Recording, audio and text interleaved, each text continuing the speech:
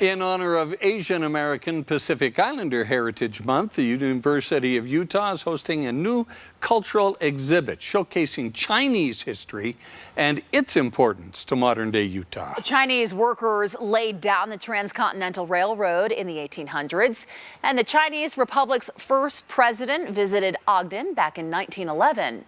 The exhibit is designed to remind the public of the important role of Chinese immigrants in American history. So we want to bring this to people's attention so people understand the culture a little bit better, understand not only the Chinese history, this is also part of the Utah history, right?